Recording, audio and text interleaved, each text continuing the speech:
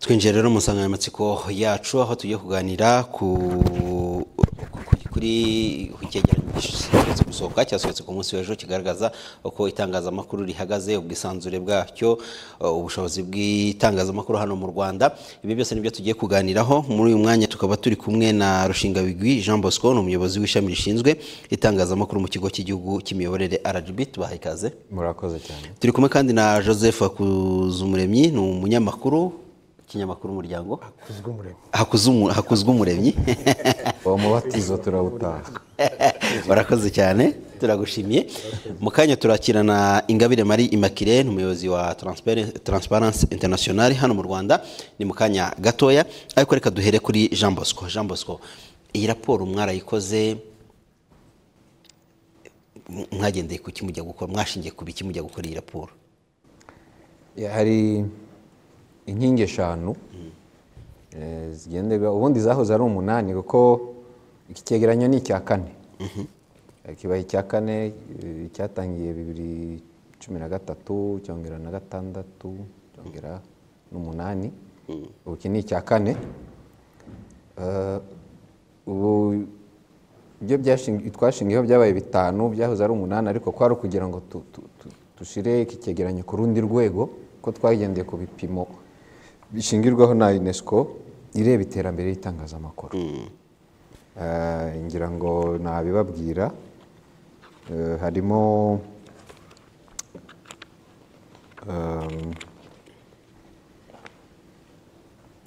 harimo amategeko.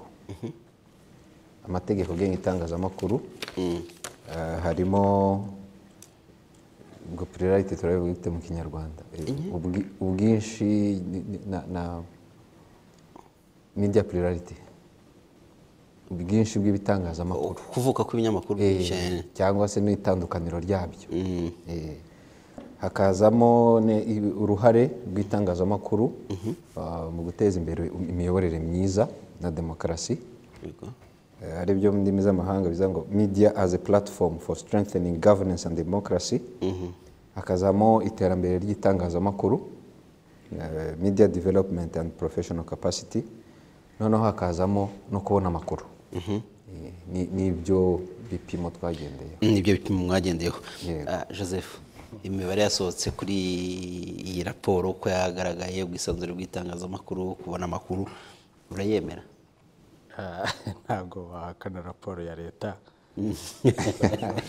Ni raporo y'ubushakashatsi. Ntabwo ari raporo ya leta. nanone wibuke ko uwayikoze nawe yari azi ko uwayikorera ashinzwe ibyo ariho akoraho.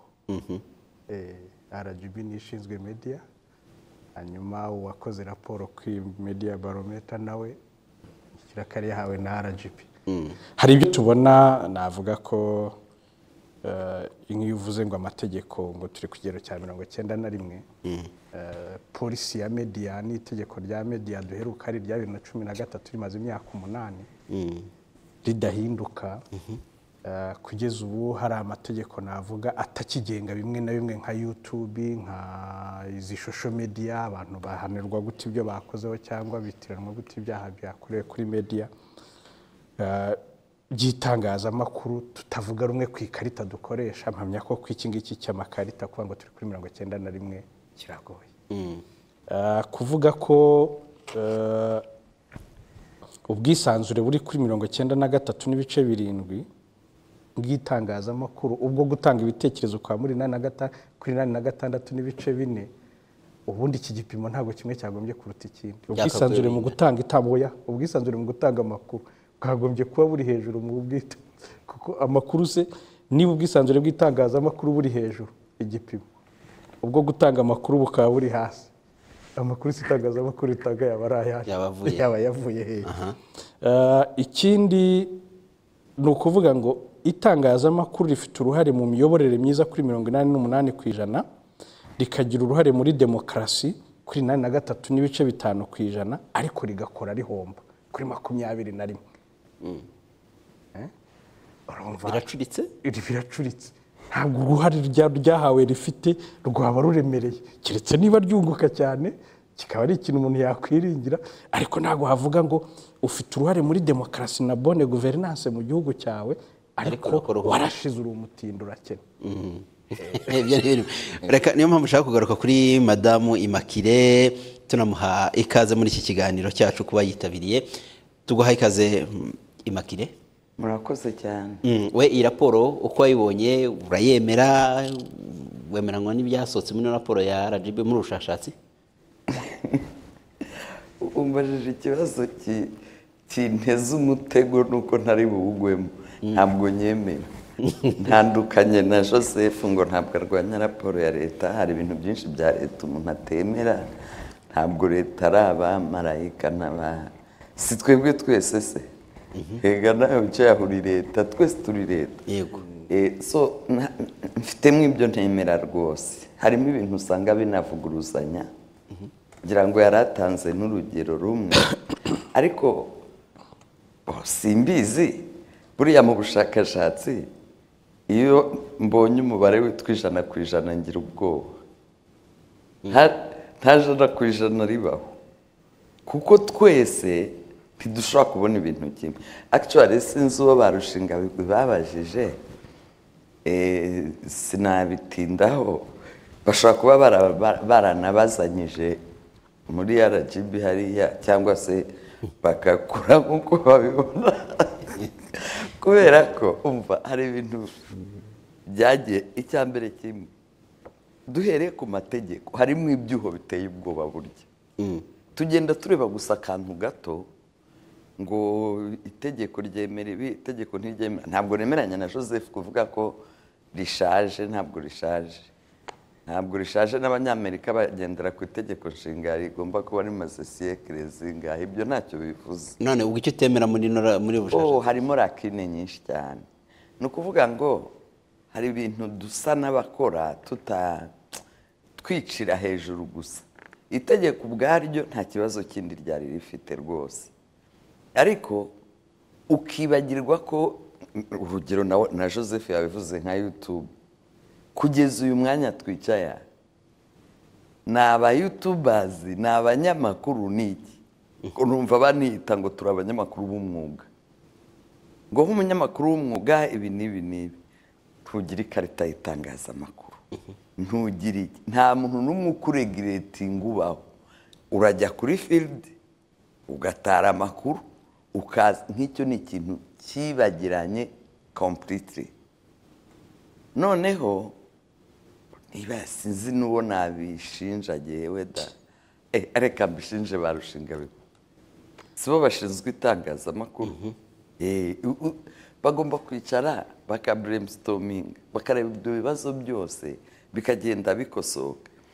Joseph yavuze ngo ngo itangazamakuru rirakennye umuntu wese ukorera mu kajagari arakennye si itangazamakuru gusa. itangazamakuru ryo mu rwanda se rikora mu kajagari. Gateye ubwoba. Kandi iri nyine riranakennye. Ariko noneho numvise ejo bivugira ngo kuva bamamaza ngo ntabwo bazaba indipendenti ku isi hose nta hamwe hashobora kuba itangazamakuru ritamamaza.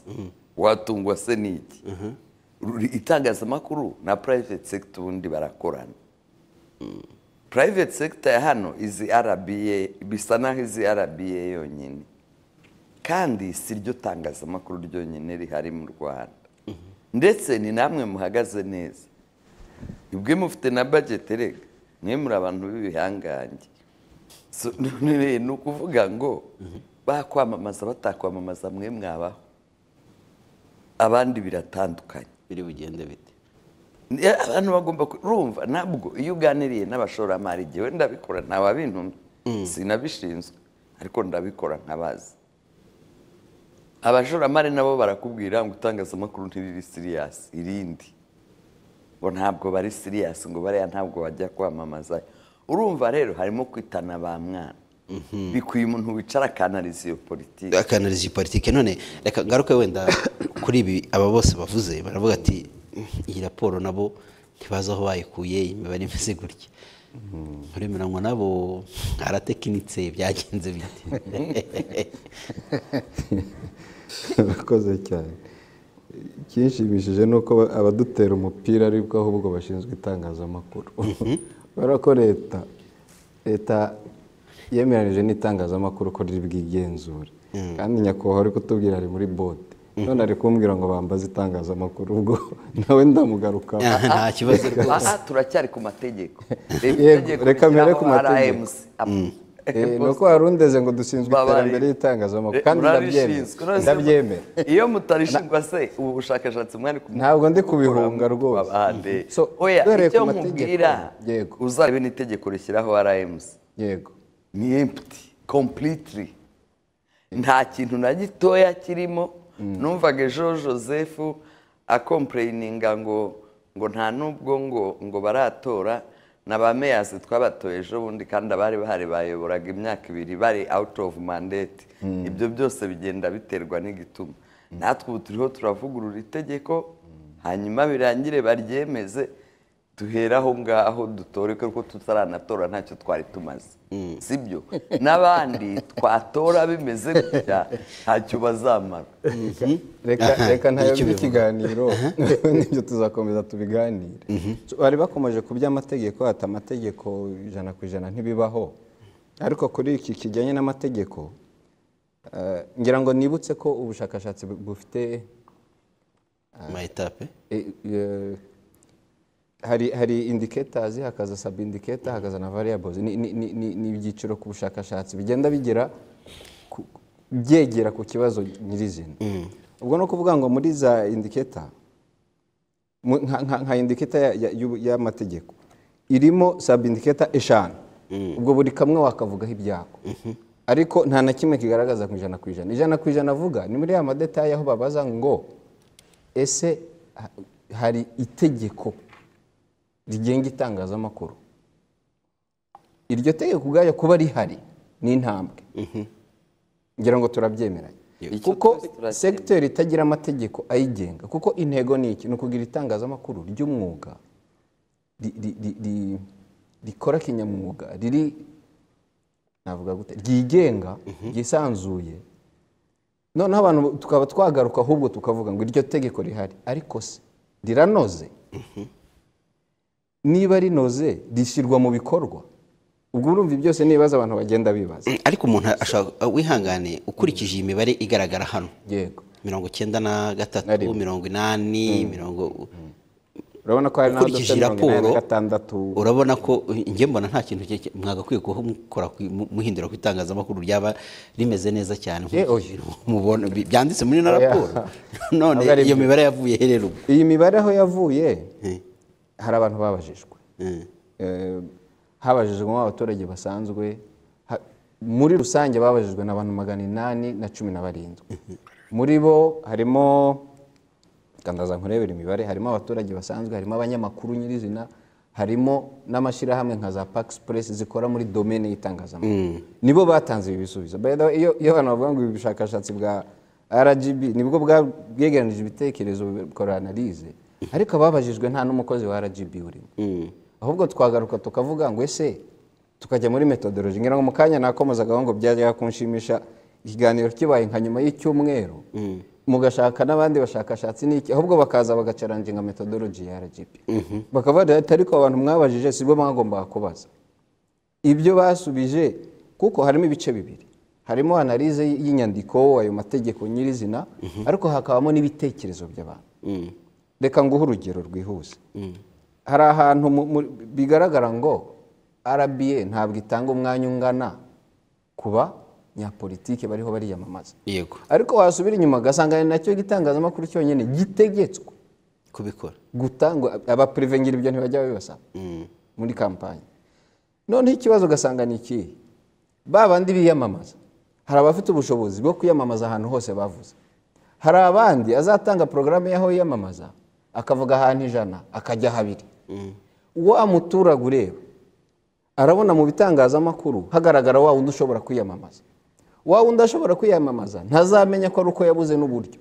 Umuntu ubireba arakubwira ati ariko RBA ntabwo yatanze umwanya ungana. Mm, ahubwo aho ni ho abantu bagomba ku- ku- kureba imyandikire ese koko uko byandikwa ni byanditswe neza ngo bigaragare ko ariyo situwasiyo ushobora wenda kubisoma ugahita uvuga ati mwareze RBA kudatanga umwanya kandi RBA yaratanze umwanya. I- icyo mvuga ngo wenda abantu mu guhakana ibyavuye hano cyangwa kubyemera ni iryo sesengura twajyamo. Kandi ikindi nashaka kuvuga iki gitabo gisohotse iyi ni inshuro ya kane gusa. Rwose turemerera ko harimo ibintu byo kunoza. N'umushakashatsi ni umuntu. Eh, ngira ngo nka RGB icyadushimisha ni ukudutungira agatoki. Turi hano. Hanoze keretse nimuvuga ngo ibirimo byose ntacyo nemeramo Mm. joseph kuri guseka ibyo oya ni byo pe. Ashorejeho ni cyo gikomeye. Nicyo gikomeye. Um, ariko se ku bigendanye n'ubukene bugaragara mu itangazamakuru. Yego. joseph uri umunyamakuru ufite ikinyamakuru uyoboye. Ku bushakashatsi uremeranywa na byo kuri icyo kintu ubukene burimo? Rega iyo uvuze ni hehe butari kabanze mbaze yenda ni hehe butari Eh, turi mu bihugu bikennye ubukene buri mu itangazamakuru ni byo nakubwiraga ngo ntabwo wavuga ngo itangazamakuru ryagize impakiti ingana gutya ariko nurangiza uvuge ngo ni umwuga utunguka. Burimo ariko ntiburi hose. Biterwa n'aho ugeze. Eh, urebye kamera ziri hano ziri imbere yanjye n'iziri iwanjye harimo ikinyuranye. Kandi wigenga wakabaye wowe ufite nyinshi. Eh, nakabaye si nyinshi cyangwa nkeya ariko hari izo mbura ntanashobora no kugura kandi akazi nkora ka- katashobora kugura na zo. Kuko twemere ko mu itangazamakuru hari umwana wa hano ujya azengurutsa mikoro mu baturage. Akabaza ngo minekofine ni iki? Wumvise ibisubizo bajya bamuha. Ziriya ni ingaruka z'uko abagashoye mu itangazamakuru hari inkuru zitagurisha. Reka mvuge gutyo. Hari inkuru rubanda itagura niba umukiriya wa mbere dufite ku isoko ari leta abikorera bakaba baza kuri RBA RBA iyo icunze neza usanga eh, ucunze iminara iri mu gihugu furekanse z'amaradiyo. Ifite zingahe? Reba hari iyanyu hari ama ziriya radiyo kominotere iyo yose ni iminara abikorera bagombye kuba bafite nabo. Izindi na zo zikagera ahandi hose ariko ugasanga umwe radiyo imwe ntihagije mwafashe n'izindi zose. Icyo ni kimwe. Ni ukuvuga amafaranga y'itangazamakuru afite umujyi umwe ajya ku bitangazamakuru bikeya kandi na byo bidashobora gukora akazi kose ku buryo udashobora gusanga kuri radiyo n'iyi hariho ikiganiro. Baticaye bavuga iki kiganiro ni icy'ubuhinzi ariko si ngombwa ngo minagiri izatwishyure. Tuzishyura umunyamakuru sipesiyalize mu buhinzi akora iki kiganiro. Kontenti zijyanye zitagicuruza ntabwo turiho turagenda tuzihungeka mvuge gutyo. Ah, kandi nabo amafaranga ajyaho. Ntabwo bahagije mu makuru urabona amakuru hose. Amakuru yuzuyemo kwamamaza. Bigezeho bigatura unyana. Amafaranga y'itangazamakuru hagombye gushyirwaho umurongo ababishinzwe niba ari ijana riri mu gihugu rigenewe itangazamakuru. Rigabanywa gute mu binyamakuru bifite uruhare mu iyi good governance mu iyi demokarasi mu iterambere ry'igihugu mu kwigisha abaturage? Ikibazo si uko amafaranga adahari si uko ubushobozi duhari budahari turacuranwa hari abari ku ibere cyane. Eh, n'abandi bari ku gasozi. Maurice. Urakoze numvaga uko joseph yabisobanuraga avuga ati hari na kamera hano ntashobora kwigurira kandi nanjye ndazikeneye. Ibyo bikwereka ko uh, rgb isanzwe irebera itangazamakuru hakagombye kubaho na advisory team muri investment muri media. Ibabwira ngo ese izi opportunity koko zirahari? Kuko iyo turebye muri rusange dusanga ishoramari mu itangazamakuru rijyana kenshi na private sector. Private sector yacu irangana ite ku buryo yaba ifite ibitangazamakuru bingana nk'uko bingana. Sinzi icyo yenda muri RGB babikora niba bajya badvisinga abantu koko gushora mu itangazamakuru barabitubwira. Ariko hakagombye kuba hariho booklet igayidinga umuntu ushaka gushora mu itangazamakuru icyo yakagombye kureba na profitability azavanamo kubera ko tuzi neza ko iyo manufacturing sector y'igihugu idakomeye n'itangazamakuru ribihomberamo iyo aba manufacturers ari bakeya bavuga bati mainstream ni igitangazamakuru cya leta kuko ni cyo gifite platform irebwa hose. Bose bazajya kuri leta. Ese rgb mukora iki? Muri rusange muri ubwo bushakashatsi ni iki mwasanze gituma itangazamakuru ryaba rivugwamo ubukene kuko umunyamakuru iyo bavuze ngo arakennye ubwo ni ukuvuga ngo n'ibitangazamakuru n'igitangazamakuru akorera kiba gikennye urakoze cyane. Ubu bushakashatsi eh, ni byo navugaga hari igice gishingiyeho ko abantu babona ibintu. Ariko hari ubundi turi gukora. Noneho bushingiye kuvuga ngo itangazamakuru ritunzwe n'iki? Financial sustainability y'ibitangazamakuru. Aho ni ho tuzajya deep. Rwose tuzabatumira butaranasohoka tubiganireho. Ngaruka ku byo joseph yari avuze hari ikibazo hari ibintu tutari bwumvikaneho. Hari ukuntu dukora analize y'itangazamakuru. No kuvuga ngo rirakinnye. Ntitujye mu bibazo nyirizina. Hari ukuntu dufata itangazamakuru ndabyemera ko ari domene yihariye. Ariko asipe yo kuvuga ko ari bizinesi kenshi turayihunga. Turashaka ko umuntu wese ubyutse mu gitondo agashinga igitangazamakuru. Wenda ubwo na byo biri bigaruke ku babishinzwe. N'ejo twahoze tubiganiraho. Ugashaka ko umuntu wese atangiye igitangazamakuru azabaho ubuziraherezo. Kandi muri bizinesi siko bikora. Biradusaba kwicara tukanariza bizinesi y'itangazamakuru. Yakagombye gukorwa iyo profitability wavugaga. Ese umuntu atangira igitangazamakuru ashaka kunguka muri domene y'itangazamakuru. Kuko uko ngira ngo tubizi hano umuntu kugira ngo yunguke mu itangazamakuru iryo yamamaza rizamo ariko umuntu yamamaza iwawe akurikiye iki? Kontenti akurikiye kontenti akurikiye ba bandi bagukurikiye. Audience ufite audience. ufite. Sibyo? Yewe mfite gahunda yo guteza imbere urubyiruko. Nzazi iwawe ukurikirwa n'abasaza. Iyo mesaje nshaka gutanga izabageraho ite icyo nshaka kuvuga ni iki? Hari umuntu ubyuka nta gahunda afite nta plan afite. Akiyita umunyamakuru. Kandi uwo nawe ararekarama ngo amafaranga yo kwamamaza. Ngewe nzakuzanaho amafaranga ngo ushaka iki ahubwo mbwira ngo jyewe bantambamiye muri ya mikorere yanjye simbona amakuru atuma ba bantu bankurikira. Abo ibyo twajyana. Ako kajagari hari Izo ni ingaruka madamu. za ya polisi ishaje.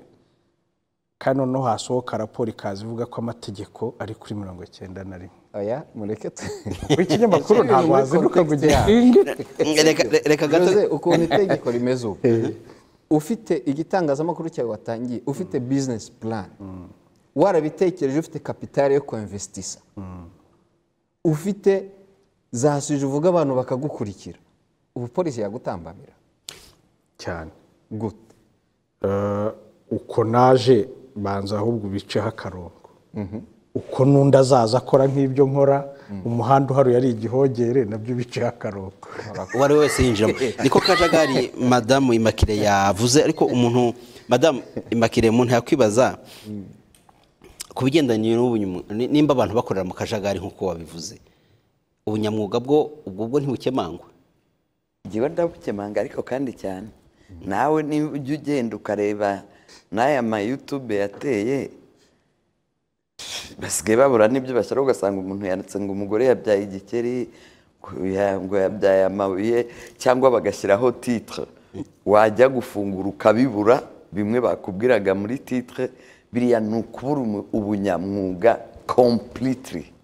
Kandi yarangiza akiyita umunyamakuru. N'abandi bakabimwita. Ni ikibazo. Wowe urafata hari ibyo njya ndeba niba ari uko ngewe nize kera mujye mumbabarira ibigezweho simbimenye nyine nk'abantu bize kera turacyari mu bya kera. Ubundi ha- haba na ruburike yose burya igira aba egisiperi ntabwo nshobora kubyuka uyu munsi. Ngo njye kwanariza ibintu by'ubuganga. Kuko ikintu cyo mu buganga nabanze wenda ni ugufata tamperatire gusa. Ibyo byo ndabizi nashyiramo igipimo nkareba. Undi akabyuka akajya mu buhinzi ntazi n'amazina y'ifumbire ntazi n'intuzi ni byo ugasanga abantu bamwe baraguma bivuruguta mu bintu ngo bariho ngo barakora isesengura ni na byo binyica. Nkavuga uriya se arasesengura iyo domene we arayizi. Ni ukuvuga ngo ngira ngo ndagaruka ku byo rushingabigwi yavugaga ni bimwe mu bituma abantu bataza kukwamamazaho kuko babona ko utari siriyasi mu byo ugira. Twaremye abantu tubita ngo ni abasesenguzi akaza akicara akagutekerereza ibintu uko abyumva n'uko ashaka ariko mu by'ukuri atari byo. Rero iryo tangazamakuru rimeze gutyo. None se koko aba bantu bakora abenshi bakora mu itangazamakuru usanga hari ababyize n'abatarabyize. Ikibazo kiri hehe bwana ikibazo hari ikintu kimwe nshaka kuvuga mbere y'uko rushinga rwavuga joseph ngo ntajya avuguruza leta. Ariko simba nshaka ko ijambo rya nyuma riba irya leta. Kuko tuba tu- tuba tugamije ibintu bidasa. Ni ukuvuga ngo nubwo igikuru tugihurira kubaka igihugu ariko uburyo bwo kubaka buriya hari uwubakisha ruriba undi akubakisha itafa amatafari ahinda akubakisha ibyondo. Icyo icyo nagira ngo mvuge mubirebye neza tukanavugisha ukuri. Bambabarire. Njye nkunda no kuvuga ibintu uko mbibona. Itangazamakuru uyu munsi aha tugeze. Kandi rushinga bigwa byumve. Kubera ko nibo bahagarariye polisi. Iri muri minaroko ubu ngubu. Na- na biriya ni ikindi kibazo. Ariko turafatanya ntabwo ntabwo ndi bubihunge ko turakorana Minaloc izikorera ibibazo byose biri muri iki gihugu n'abagwingiye n'imfubyi turanafatanya rwose n'abapfakazi nagize ijya no mu itangazamakuru. barababaza imihigo barababaza ibiki? Itangazamakuru se bazarijyamo gukora iki? Na ririya ni ikosa ryabaye aya musore ni ikosa pe. Ariko noneho ri- risigaye ryarabaye nka cya gihe dufate nk'umugore twebwe ni twe dukunda kuba vulnerable uwakennye cyane cyangwa uwabuze ahandi hantu areba yikorera agataro. Ibitangazamakuru rero barigize agataro. Ubishaka ahita ubuze agenda agashyiraho inyanya n'imineke akikorera se tu? Ariko icyo nkeka biciye muri iriya yutube mu- muri iriya miyoboro kuriya cyangwa biciye anafunguye webusayiti website zifungurwa na bangahe? Se Eh. aho ya zirasaba iforu zirasaba ubwenge zirasaba gutekereza. Wapfa kwandika ibyo ubonye. Se icyo nkeka joseph niba waba ufite hafi polisi ya bibiri na cumi na gatatu igenga iki ku- muntu ushaka kuba umunyamakuru? Siyo hantu hahera ikibazo uwo ari we wese yakwinjira muri uwo murimo? Ya, eh, ikarita ikarita igena ko uyisaba muri RMC hariho n'ibyo usabwa kuyibona ariko icyo gihe polisi ijyaho uburyo bwo gukora ikinyamakuru nabwo ntabwo bwari bwagutse nk'ubu ngubu nshinga ibyatsi tv kondisiyo yagenderwaga kondisiyo yagenderwaga ikibazo ikibazo ahantu kondisiyo zitangwa na RMC kandi zirahari ziranasobanutse. Ariko nanone abashinzwe kuyishyira mu bikorwa ushobora guhinguka kuri serena turi makumyabiri turi abanyamakuru ariko kuri geti nta n'umwe wigeze waka ikarita y'itangazamakuru. Twese tukinjira turibo ikindi nanone ntabwo nkibona nk'ikintu kibi kubyaza amahirwe ahari kuko niba leta imanitse iminara hirya no hino igashyiramo interinete mu gihugu YouTube izana amadolari mu gihugu kandi ni abagiramo akazi. Ariko ikibazo gihari niba nta buryo bwo kubikurikirana inzira ari igihogere hazazamo abo bose. Ni nako bimeze. No mu buryo bwose. Reka mvuge gutyo na kontenti zose kandi zitwe ikinyamakuru. ugira icyo ubivugaho mbere ko wenda ngira ikindi reka nkubwire ndemeranya namwe. Ibibazo mbonamo ni bibiri. Uko umunyamakuru yinjira mu mwuga n'uko ibitangazamakuru bihabwa lisansi bikurikiranwa. Umunyamakuru uko yinjira mu mwuga waravuze ngo birasobanutse ntabwo twemeranya. Uti kubera iki? Itangazamakuru ni umwuga w'agaciro pe. Twese turabyemeranya. Nk'uko udashobora gukora ubuganga. Ngo ni uko wabyize gusa. Hari ibindi usabwa. Nk'uko udashobora kuba umucamanza nubwo waba ufite phd hari ibyo usabwa. Ni ukuvuga ngo baro irakwemera. Ni ukuvuga ngo ordre de médecin. Iyo watannye ifite ububasha bwo kuguhana. Ibyo ikora se? reka twikomereze. Ntabwo ngiye kuvuga abantu batari hano. Umva umva jose joseph. Joseph ihangane. Reka nkomeze. Ubwo twariho turavuga aho bipfira mu kwinjira. Musabwa iki? Usabwa ibaruwa ya rekomandasiyo y'ikinyamakuru. Y'ikinyamakuru. Ibinyamakuru bitanga izo re- rekomandasiyo ubwabyo bihagaze bite? Si bya byatsi wavugaga? Umuntu aba afite igitangazamakuru ari we nyiracyo ari we edita ari we ushaka all in one. Uwo muntu azatanga rekomandasiyo akubwira ngo umunyamakuru ni intyoza ati narangiza. Bagende baguca ibihumbi makumyabiri.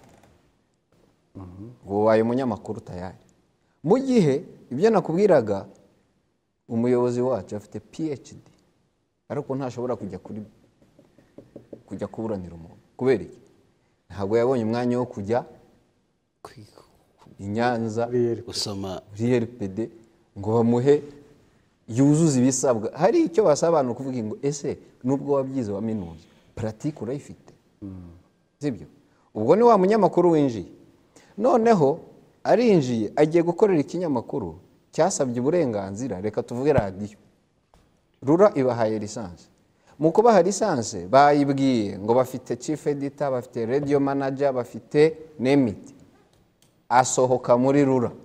Ba bantu bose. Ejo bundi twahoze tuganira n'abanyamakuru babwira ati ariko muzarebe mu bitangazamakuru rebe seve zacu ziriho ati ushobora gusanga amaradiyo umunani afite seve yanjye. Bigaruka. Ntabwo ngiye gutera urutoki rura. Ariko nk'uko imakire yabivugaga tugomba kwicara noneho tukareba ibibazo nyirizina tukabidomaho urutoki. Tukabishakira ibisubizo. Guhera kuri ikindi kibazo kijya kiba ni ukuvuga ngo eh, itangazamakuru ribarizwa ahantu hatandukanye. nkurikije rushinga bigoye ndakwipa nahagarariye navuga ko ni we wavuye muri leta kwazi ibisabwa buri ki ngo bikorwe. Ibi bintu tubivuze imyaka itandatu. Tugomba kunoza kubaza usibye n'icyo ngicyo wenda imakire leta izi dufite. Izi bibazo biri muri medi habura iki ngo bikosoke kuko niyi tuzongera izi nenye zisohotse. N'indi izasohoka. ujya gukira indwara arayirata ibyo bibazo turabizi ko bihari. Ko tumaze iminsi twicara pe. Ariko rgb rura minaroke ombusmani rmc arg tumaze iminsi twinenga. Ariko kera Eh. hahozeho minisiteri y'itangazamakuru iza kuvaho ibi- iby'itangazamakuru bijya muri rgb n'urwego rw'igenzura. Ariko aho ntibyamaze kubarenga mukaba mutagishoboye ku- ku- ku- kujera itangazamakuru. Ntabwo byaturenga. Ntabwo byaturenga. Keretse abantu badahari ngo babyicarire icyo navugaga wenda abantu bagomba kwicara ega ikibazo ni uko duhurira mu biganiro nk'aha tukarangiriza. Ubu turiho tura- turareba ukuntu twahura ku buryo buhoraho. Tukicarira ikibazo kimwe kikabanza kika niba dushaka tuzakora amatsinda. Nubona nk'ubu turiho turavuga ibibazo biri mu buryo mu itangazamakuru. Ariko turabirangiriza aha tugenda tuzongere ni cyo nshaka tugaruke hano. kubaza imakire nimba ibibazo bimaze kuvugwa imyaka itandatu joseph akabibaza ngo hakorwa iki kugira ngo ikibazo oya ni igikorwa kirazwi ibibazo birazwi aho ubuvugizi bugomba gukorwa cyangwa uru rwego rwa rgb aho itangazamakuru rigarukira. Ntishobora kuba ruri we- mwe mubibona muti ntishobora kuba rudafite ubushobozi bwo kugira ngo ibibazo bikemuke. Ngewe ndaza kurenga rgb ntabwo byose ndi bubibagerekeho. Wumvise inzego avuze. Bahura bakicara bakaganira. Biranashimishije gusa nuko nzagira amashyushyu yo kumenya ibyo mwagezeho ngiye mpora nkwishyuza uzabona ibyo tugeraho. Ngo bya biganiro bigeze. Kuko eh, kuko nanjye ibyo bintu nabyifuzaga.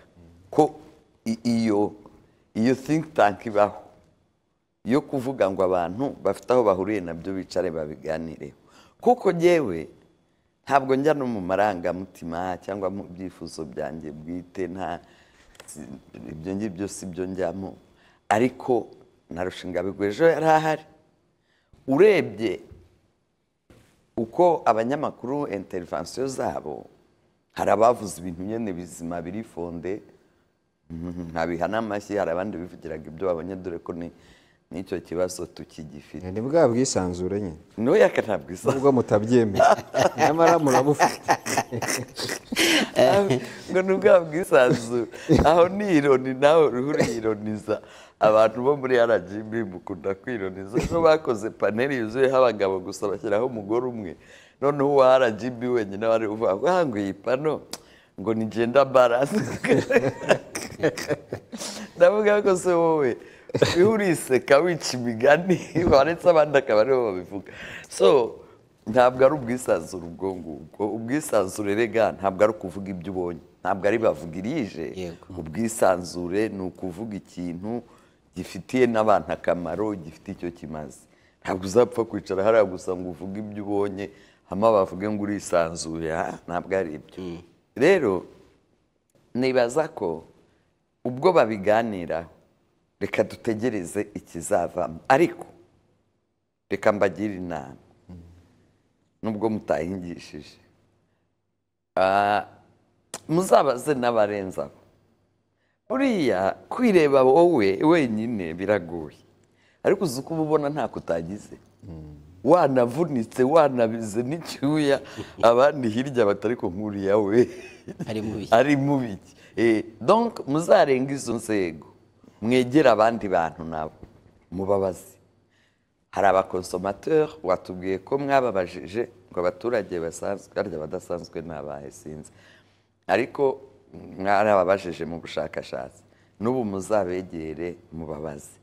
Muzegere civil society. Ni bamwe mu ba influencers rega muri iki gihugu. You like it or not niko bimeze. Nabo mubabaze. Kuko ngewe nahaguruka ngakora ubuvugizi. Wowe rushingabigwi ntabwo wakora. Wenda wakora memo ukayishyikiriza nyakubahwa minisitiri ariko ntabwo wajya ku karubanda. Ngo ujye kuvuga ngo ibi n'ibi ntibigende gutya. Kwanza uwo munsi barara bakwirukanye kandi nanjye ndibo nakwirukana. So rero mu- mwegere abantu benshi batandukanye. Eh, mwegere amatorero munaganire na yo. Batubwire biriya bintu biharaje ngo bashyizeho yutube ngo ziza guhanurira ngo amakuba u rwanda rugiye kugira bariya bo ni n'inkungu zigenda n'abiyamye. Kuki nta kintu kizima bahanura? Ukomoje aho ngaho ni naho nagira ngo mvuge kuko perception iriho muri rgb mugomba no kureba uburyo ki yahinduka ndetse dufatanyije twese ni uko youtube channel ni platform ishobora gushyirwaho content runaka. Iyo platform iyo yicayeho abantu babiri umwe aganiriza undi ku makuru n'amateka y'ubuzima bwe content ishobora kumara isaha comment hasi ziza ukabona ko abantu ya content yari so emotional yatumye abantu barira bagize impuhwe ndetse binarangiye harabaye no ma contribution. Iyo ntabwo ari igitangazamakuru. No. Uwo si umunyamakuru hano hanze rero ikiba ni uko umuntu iyo nimugoroba atashye cyangwa se yicaye afungura youtube channel runaka akaba azi ko ari kuri televiziyo kuko na wa muntu iriho aravuga ngo ni televiziyo runaka. Iyo avuze ngo ni televiziyo runaka uyireba consumer azi ko ari kureba itangazamakuru. Iyo hariho wa mugabo washwanye n'umugore we umwe agashinja undi nzaratsi content imara isaha. Birangira avuga ngo ariko uno munyamakuru bino yazanye bitumariye iki? Avuze umunyamakuru avuze igitangazamakuru byose biritwa ko byabikomoje kuri youtube.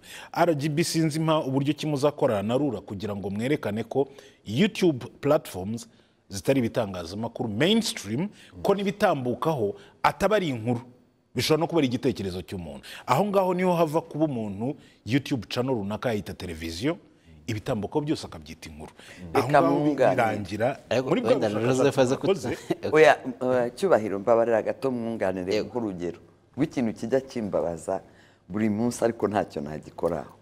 Mwarabonye saga yigeze yaduka ngo abagore bajya kubuza abagabo babyaranye gusezerana. Bi- birimo n'ubuswa kuko ubundi se urajya kumubuza gusezerana ko kubyara atari imwe mu mpamvu zituma umuntu adashaka.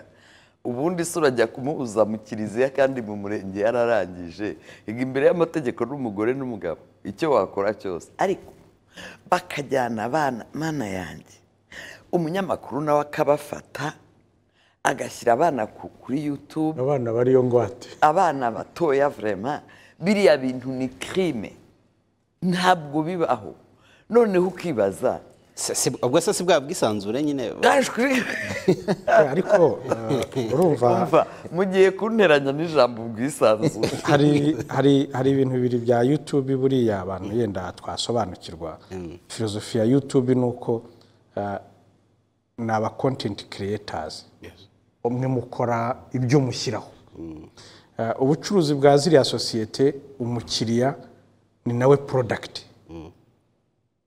Uza kureba ibyo nashyizeho nkagaruka kureba ibyo washyizeho. Bo bashyize hari abaritaza. Twe turahamaranira. Facebook ni kimwe. Uza kureba ibyo nashyizeho mva gushyiraho happy birthday nkagaruka kureba nawe uburyo wateye ivi.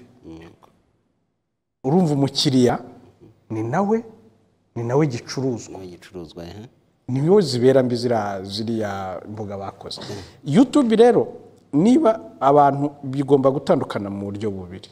Niba agiye yosefu ndi umunyamakuru nkaba ndi no kuri yutube na mushiki wanjye akaba ari umuturage ariko akaba afite kontenti ashyiraho z'ibintu aboha cyangwa z'imiti atanga cyangwa se ibintu avura akaba ari umupasiteri.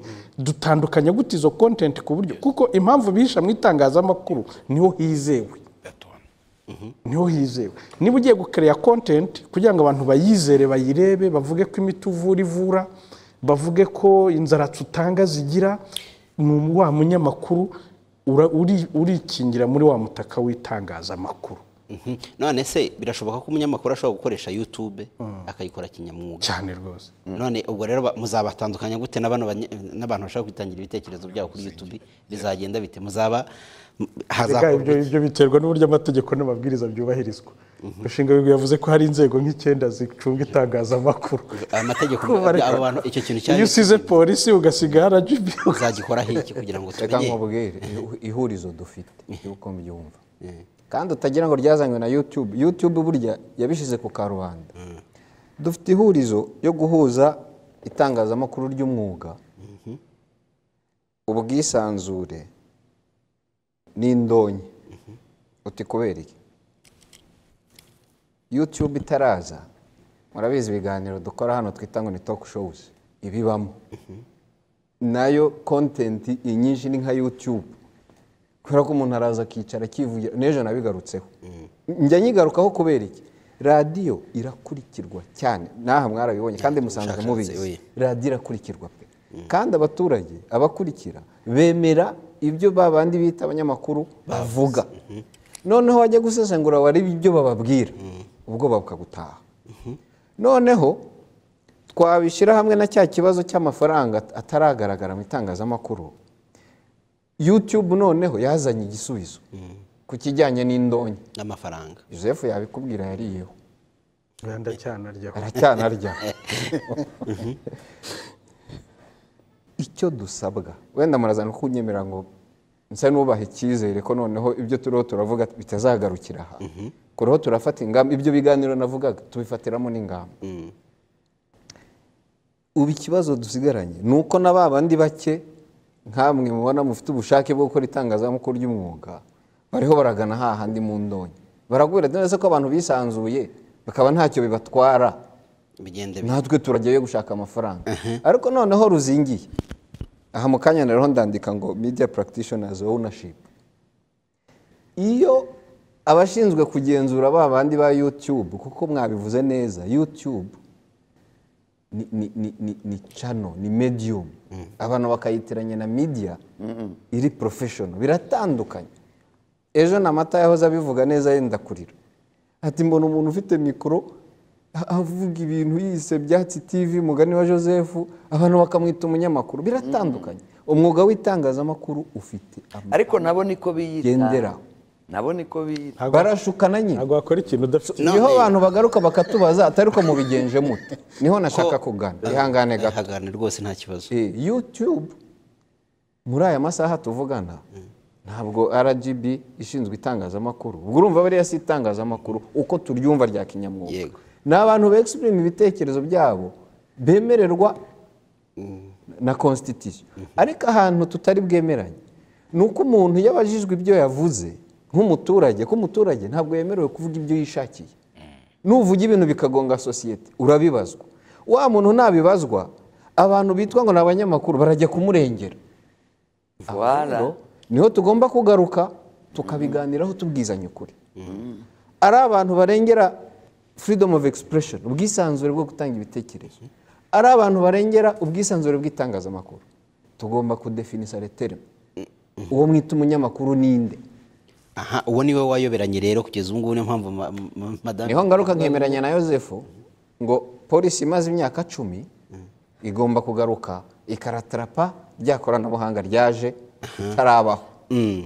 aho rero ni ho nakubwira ngo hari ibintu puratike biri kuba minaroke rwose iyo porosesi irenda kuyitangira vuba kuvugurura polisi ahubwo muzayitere amabuye nitabahamagara. Mhm. hari itegeko rihana umuntu umunyamakuru wakoze inkuru zishobora gu- gukurura imidugararo muri rubanda cyangwa guhungabanya ituze ry'igihugu. Ariko hari ibyo wari uvuze by'abantu bajya kuri YouTube bagahanura ibigiye kuba ku buryo um- umuntu ashobora ku- kubyuka akabyuka yahunze. Aba bantu ko nabo baba bita abanyamakuru abantu ko bashobora guteza desordre mu gihugu.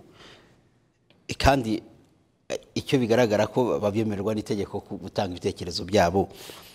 Mubona igihe cyaba kigeze cyangwa barakerewe kugira ngo bashyireho amategeko agenga abantu bakoresha n'izi mbuga nkoranyambaga zirimo na YouTube. Byaratinze cyane ariko reka tubagaye guhera ntitubagaye gutinda kuva rushinga bigwi yatubwiye ko bicaye babiganiraho agiye byandemye umutima kuko ubundi nakukaga umutima nibaza ko wenda ari igihe wasaze ubibona jyenyine abandi batabibona.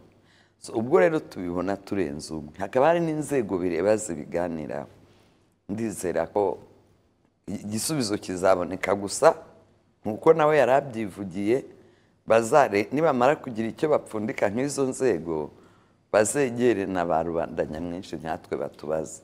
Kuko afite aroru ni twebwe consumers.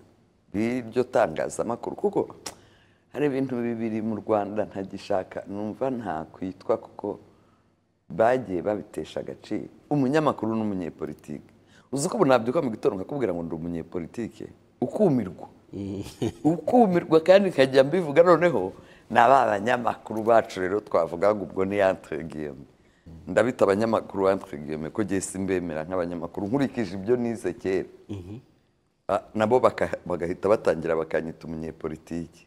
Singira ishyaka rya politike singira imirimo ya politike nkora ewe sindaniyamamariza no kuyobora umudugudu.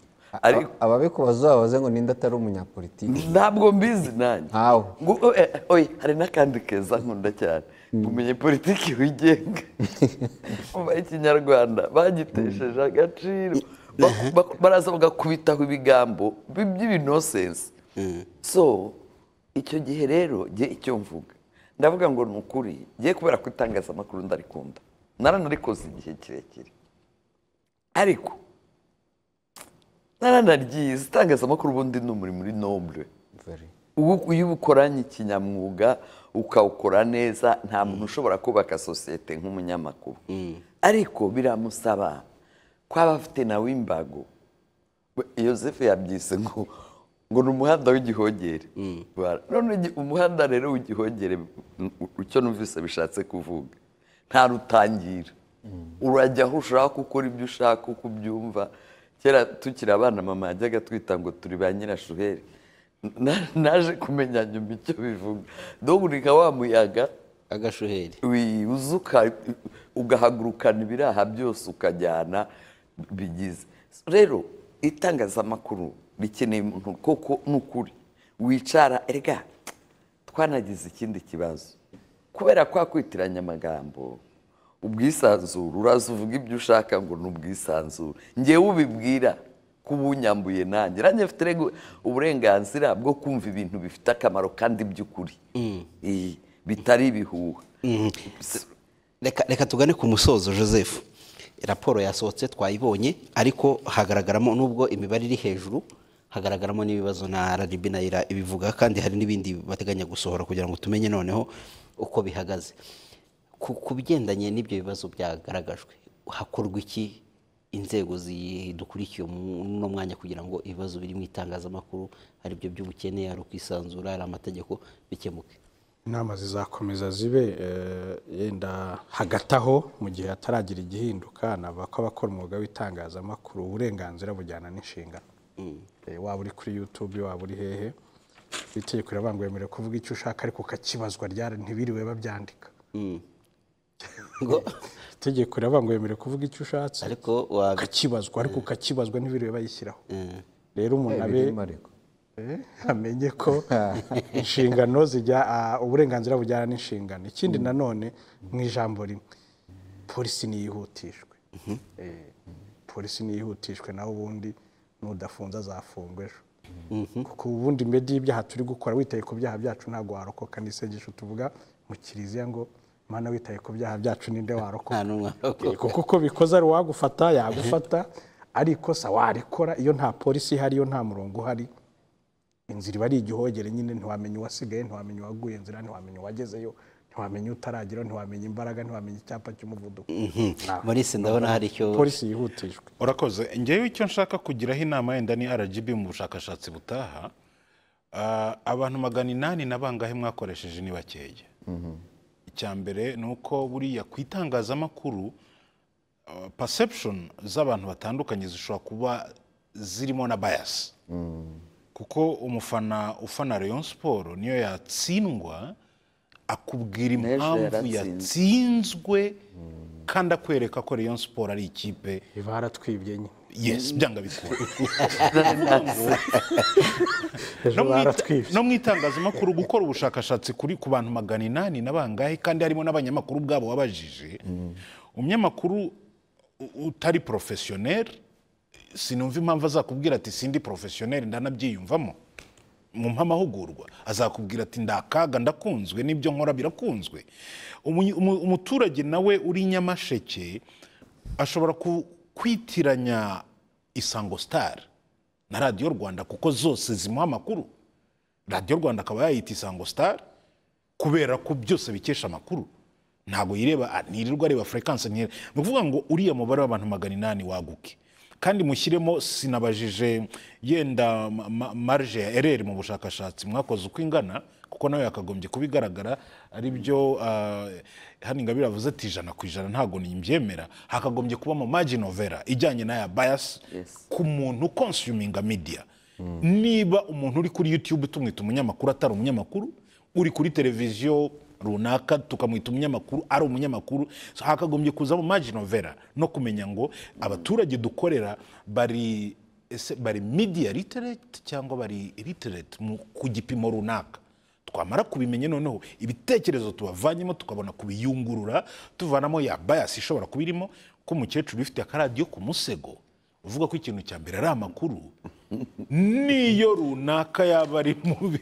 Byose abyita amakuru. Uwo rero iyo umukozi w'ubushakashatsi ibyo akubwira simpamya ko ubyemeza ijana ku ijana. Mhm. turi kugana ku musozo ah, bwana bigwi. Tubwire ah, hari icyizere gihari ko mu minsi ya vuba tubona ibibazo biri gukemuka. Genda gifite kinini kandi akubwira aho ngishingira Maurice yarakomeje ku kintu cyiza cyane. Ati umunyamakuru ntiyakubwira ko atari professional. Ariko icyagutungura mu banyamakuru twabaje ari na cyo cyampaye icyizere ko abantu noneho bamaze kumva uburemere. Yaravuze ngo tugire isengesho ngo ntiwite ku byaha byacu. Abanyamakuru sinavuga ngo ni bose. Ariko abitwa abanyamakuru bashaka kubikora nk'umwuga. Bamaze kubona uburemere bw'ibibazo birimo. Yego icyo ni- bivuze ngo bari tayari kwicara ngo tuganire ngo tugarure izina ry'itangazamakuru. Ni ikintu gikomeye cyane kiruta ibindi byose bibaho. Uti kubera iki? Naho mvuga ngo self regulation kandi koko niko ngira ngo ndi hano nicaye nturutse muri RGB nkorera leta niko leta ibyumva. Kuvuga ngo twahisemo guha itangazamakuru kwigenzura. Niba abanyamakuru bamaze kumva aho bashaka kuganisha itangazamakuru nta wabitambika imbere.